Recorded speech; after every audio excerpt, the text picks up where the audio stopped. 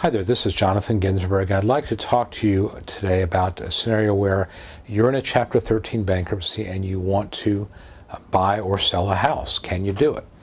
And the answer is yes, you can.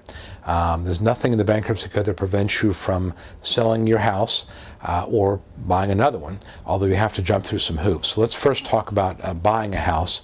Um, if you want to buy a house uh, in a bank, you're in Chapter 13, you're going to have to get your uh, get authorization from the trustee and the judge ultimately to incur new debt.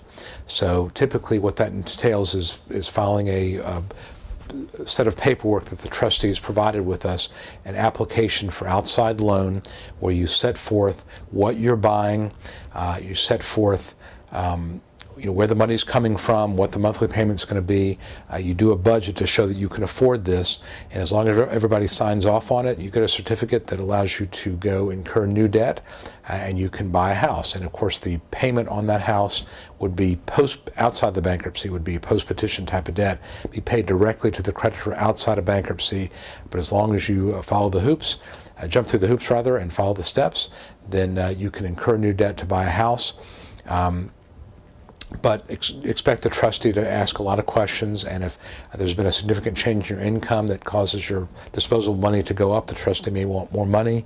Uh, they're going to again want to know where you came up with the down payment, but as long as that information is available, uh, then go for it.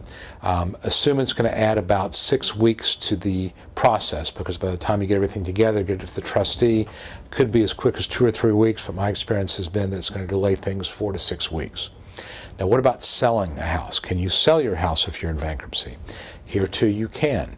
Um, typically, at least in the Northern District of Georgia, when you want to sell your house in bankruptcy, you've got to file a motion, get in front of the judge saying, I need to sell this piece of property. Here's what's going to happen to the money. Um, I'm using it for down payment on another property. I'm using it to, um, for, for whatever reason, I'm going to give it to the trustee, any number of things, but you've got to explain what you're going to do with the proceeds. If there are any proceeds, then you've got to file an amended budget to show uh, what your living expenses are going to be once you've sold your house. Um, so yes, you can. Again, it's the same process. You get an order from the court, and then when you go to closing, that order would be presented to the uh, closing attorney. Um, because again, court calendars are crowded. You're probably looking at again adding four to six weeks to the process, but uh, you need to get that order. Uh, most judges are willing to do it as long as what you're proposing is reasonable. Um, again, it's just a lot of hoops to jump through, but it can be done. So the answer is most definitely yes. You can buy houses, buy property, buy residence. You can sell your residence if you need to. You can buy a car, sell a car, that sort of thing.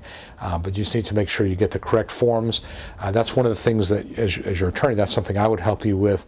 Help you fill out, fill out the form, help you submit it, uh, make sure sign off on it, make sure that it's accurate. And as long as all that's done, uh, I found the trustees and the judges to be pretty reasonable and pretty accepting of your willingness or your your desire to uh, buy something, sell something, as long as what you're doing is is reasonable uh, you're not uh, incurring a huge amount of new debt. Uh, you're not trying to walk away with $50,000, something like that. But as long as what you're doing is reasonable, and, and part of my job is to help you understand what that is, then you can buy or sell property while in Chapter 13.